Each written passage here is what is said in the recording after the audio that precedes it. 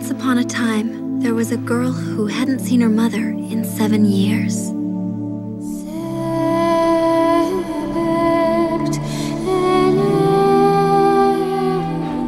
In the woods, on her way to her mother, she met a wolf. The wolf asked her whether she'd be taking the path of pins or the path of needles.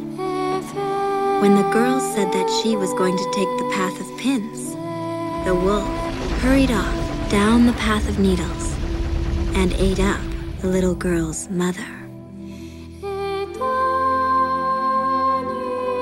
So, what happened to the girl who took the path of pins to go home?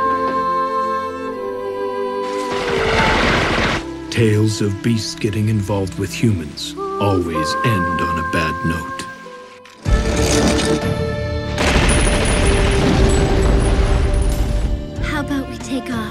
Someplace far away? We are not men disguised as mere dogs. We are wolves disguised as men. Wolves, not men. A tale of a girl who dreamed of a love with a man destined to live as a beast.